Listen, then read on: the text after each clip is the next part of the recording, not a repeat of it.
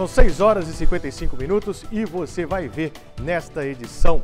No Vale do Aço, uma senhora de 61 anos foi condenada a 14 anos, 8 meses, 20 dias de reclusão em regime fechado pelo crime de tráfico de drogas.